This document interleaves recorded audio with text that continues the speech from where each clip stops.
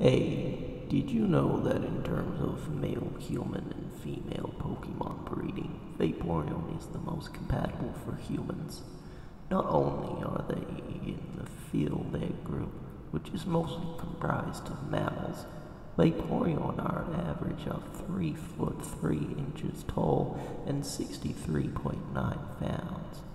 This means that they are large enough to be able to handle human dicks, and with their impressive base stats for HP and access to acid armor, you can be uh, rough with one.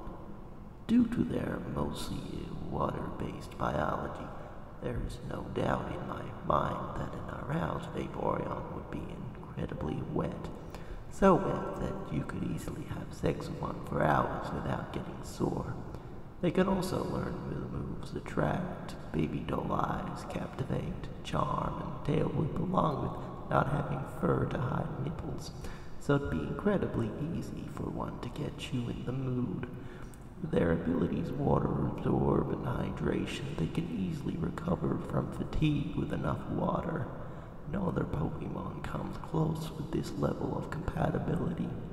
Also, fun fact, if you pull out enough, you could make your Vaporeon turn white. Vaporeon is literally built for human dick.